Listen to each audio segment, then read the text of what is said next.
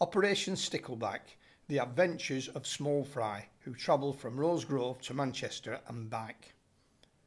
Rosegrove Engine Shed was once home to lots of steam engines which worked local lines delivering goods and passengers all over East Lancashire and beyond. The water used to fill up the water tanks of the steam engine was drawn from the nearby Leeds and Liverpool Canal which ran alongside the rear of the engine shed. When the engines were sent away to Crewe Locomotive Works for repair, it was said that the men who worked at Crewe could tell that the engine came from Rosegrove because when they came to drain the engine tanks, they were full of sticklebacks, which had been sucked in with the water from the canal. This story tells of the adventure of one such stickleback called Small Fry, who found himself sucked from the canal into an engine's water tank and describes the characters he met whilst travelling from Rosegrove to Manchester Victoria via the Todmorden Curve.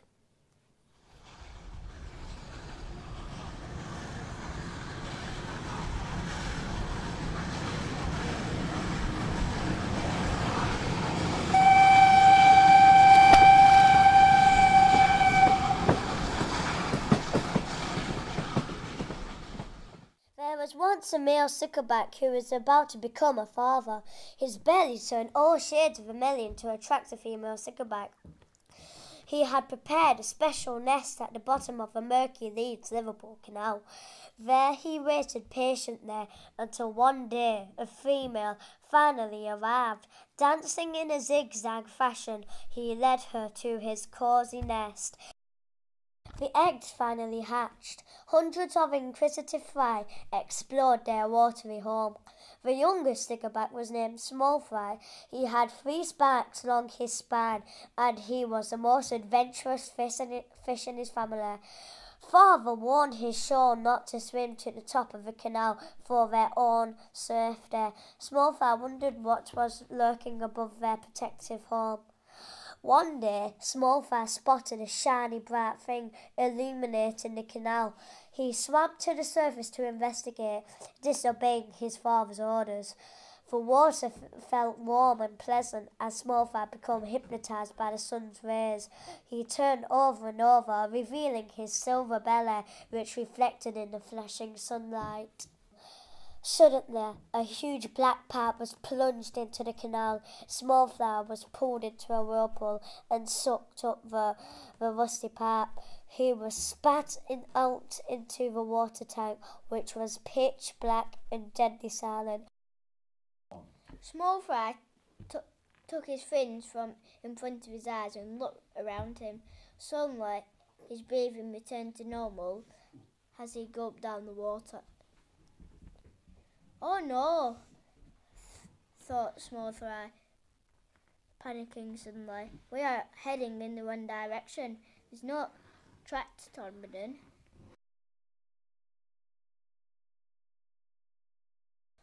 Despite his sadness, Small Fry became aware of a lot of noise coming outside the train.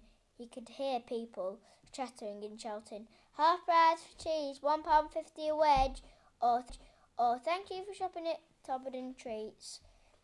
He could also hear the tinkling of the bells of ka-ching of the ca- cash register.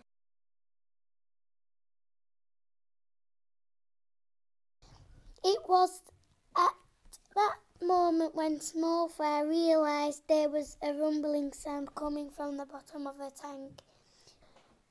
What do you want? the thing asked abruptly. Who are you? I'm Small Fry. I'm a stickleback. I got flushed into this tank by accident and I didn't ask to be here, so there's no need to be so rude. The thing swam slowly through the murky water and a small fry could finally see that eye actually belonged to another stickleback. He was a dull grey and small fry noticed a patch of scales was missing from below his left eye. My apologies, said the old fish finally.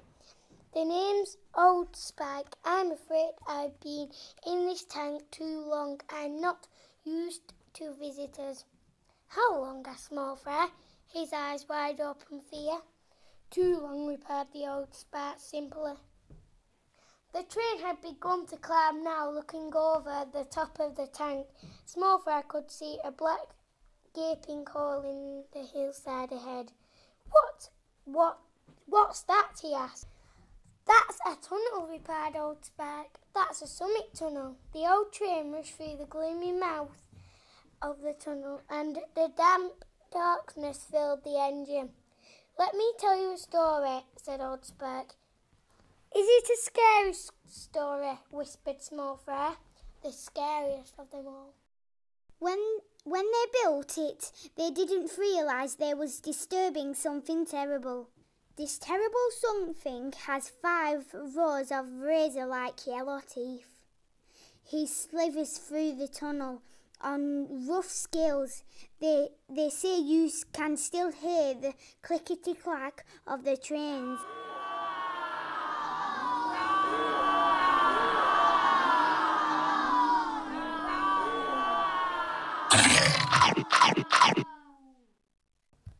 It was 1984 and I was a young fish. I could smell it before I saw it. The smoke scratched and my gills and my eyes stung. I heard shouting from over the valley, so I swam to towards the noise. It was then I saw it. A towering cloud of black smoke choked the air. It curled itself around the hills like the, the serpent itself. Was it the Summit serpent? What it turned out to be was far worse than the stuff of fairy tales. Little fish, it was a fire. It was an uncontrollable, raging fire which spat out ashes onto the hillside for days. But how? What happened? Two oil tankers derailed, spilling oil all over the track, so don't you worry yourself with silly stories. The real danger is all around us. At that, the whistle blew again, and Small Fry felt grating of the brakes as the trains began to slow. After what seemed like an age, there was another screech, followed by the sharp whistling, and the train was still once again. Small Fry and Old Spike were flapping around in the shallow water. Time was ticking on as the little fish fought for breath. The pair had cowered into the corner of the tank where the last of the water remained. At that moment, moment there was a dull clunk followed by a scraping sound, and then light exploded into the tank. The circle of light was then replaced by a huge staring, staring eye. The eye belonged to a tall man with large features, although his face was color, covered in coal and soot. He stared down at the fish kindly with an amused expression. Oh, you poor things, he gasped carefully. He cupped two fish in a firm hands and gently placed them into a billy can. Albert brought them from, down from the train, and carefully, not to tip the billy can, he placed them on a ledge by the ticket office. A little while passed, and in the distance, Old Spike and Small Fry saw a cat coming towards them. The cat was really quite extraordinary. Her fur was pale grey and silky with patches of brilliant white. Around her neck was a violet collar, studded with gleaming gold spikes. Her tail fell sleekly behind her and curled up slightly towards the end. On her head sat a large satin bow in shades of indigo. She yawned lazily, revealing perfectly pointed white teeth. Is that thing going to eat us? asked Small Fry nervously. Most probably, replied Old Spike. Greetings, fishies. That cat purred mischievously. Who are you? spluttered Old Spike. What do you want with us? I say, what kind of fish are you, anyway? A fish? She laughed.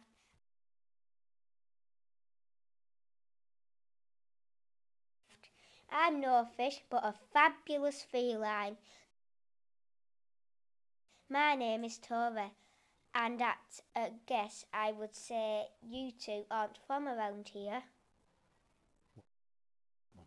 We certainly are not, began Small Fry, feeling a little braver, and we're trying to get home.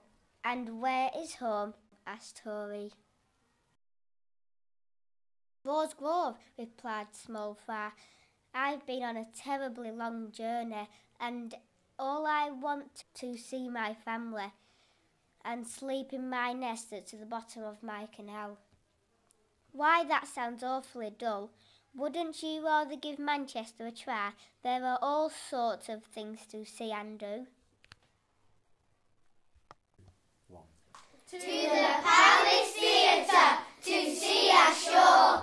I bought tickets on the front row. Or try the Hilton, it's the best place in town. Sip on a cocktail, but don't look down. If wheels are your thing, we can go for a ride. Life would feel better with me at your side. Perhaps to Old Trafford, the theatre of dreams. Or lie in the sun and soak up the beams. I think you should stay for a year, not a day. I would be sad if you went away. Manchester's huge, I see why you're weary. But stay beside me and it won't be so scary. At that moment, the whistle of the train blew loudly, and despite everything, the little fish knew it was time to go home. I'm so sorry, Tori. Manchester sounds incredible, but I'm afraid I miss my family too much to stay here. Fry said sadly. It's been great to meet you, added Old Spike. Even if you're you are a funny looking fish. Tori looked up at them with with tears sparkling in her eyes. A strong hand came down and picked up the billy can. Goodbye, little fishes, she called. Albert had placed the billy can at the front of the train, and the little fish could see for miles from the large front window. They rushed swiftly over bridges and into tunnels, and then lush green countryside stretched before them. Small Fry's anxiety melted away. The beautiful greens and blues felt like a different world into the dark and terrifying one he had journeyed through earlier. I, I say it's a much better view from up here, exclaimed Old Spike. They seemed to fly along the track. Rochdale sped by, then Littleborough, and then around the curve once more. Up, up, up to the Copy Pit summit, and then a swoop down into Burnley Manchester Road. Small Fry could, could bear, barely contain his excitement as they finally pulled into Rosegrove Station. Upon arrival, Albert picked up the billy can and carefully stepped off the train. He walked across the island platform, climbed the stone stairs, and made his way towards the canal. Nearly home, lads, Albert reassured the wary fish. As they reached the canal bank, Albert bent down and gently released his adventurous friends. Small Fry leaped for joy, swishing his tail and flapping his fins. The pair made their way down to Small Fry's familiar home. Twenty-one miles in fifty-two minutes, remarked Small Fry. I think I'll buy a season ticket.